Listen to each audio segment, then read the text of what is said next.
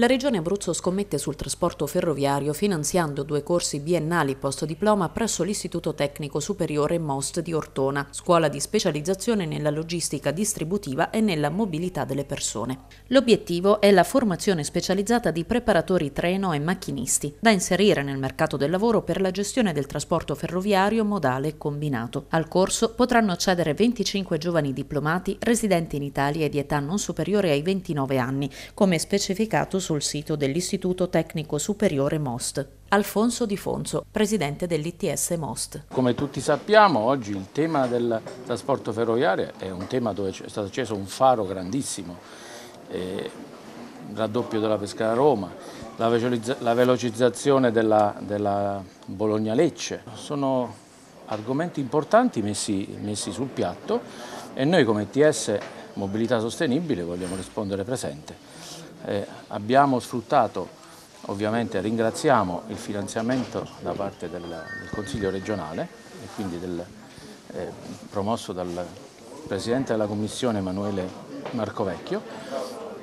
e in collaborazione con Forfair ma anche con Tua perché noi abbiamo la fortuna di avere Tua e quindi Sangritana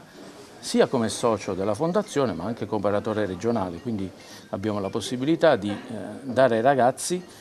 eh, di far toccare ai ragazzi con mano quello che è il trasporto ferroviario. Marco Marsilio, Presidente della Regione Abruzzo, con uh, l'attivazione di questi corsi professionali la Regione investe sulla formazione di giovani mm, lavoratori che poi saranno impiegati appunto nel settore della mobilità sostenibile. E facciamo crescere la nostra azienda ferroviaria di trasporto pubblico, una cosa molto importante perché il reperimento di macchinisti è una delle grandi difficoltà che hanno oggi le aziende ferroviarie, esiste un vero e proprio cannibalismo tra aziende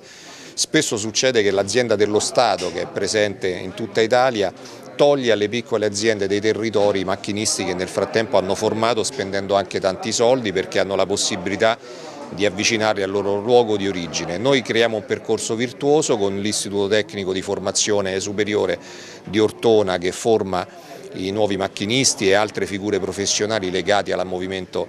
dei treni e alla gestione delle aziende ferroviarie. Io spero che tanti ragazzi abruzzesi vogliano scegliere questo percorso perché è un percorso molto professionalizzante, ben retribuito e di sicuro accesso lavorativo. Il 98% fino ad oggi delle persone che hanno fatto questi corsi trovano lavoro entro sei mesi ed è, ripeto, un lavoro eh, professionalizzato, serio e anche giustamente equamente retribuito. A margine della conferenza stampa il governatore Marsilio è poi tornato sulla vicenda dell'autostrada 24 dopo la caduta di massi sulla carreggiata all'altezza di Carsoli. E questa frana non è un caso, è uno dei punti eh, che nella, diciamo, nel, negli allarmi lanciati da Strada dei Parchi e nel progetto presentato dall'ex commissario Maurizio Gentile veniva esattamente segnalato come uno dei punti peggiori, nel quale addirittura si suggerisce nel nuovo progetto di cambiare completamente tracciato. Purtroppo sono ormai anni che non si assumono decisioni da parte del Ministero, né di ridare la concessione a Strada dei Parchi né di toglierla. Quello che la Regione Abruzzo chiede è che il Ministero decida, prenda una strada chiara perché ci sono 4 miliardi fermi che non si investono per la sicurezza e l'ammodernamento di questa autostrada che ha finito in larghe parti, in larghi tratti il suo ciclo di vita e noi non possiamo aspettare ancora.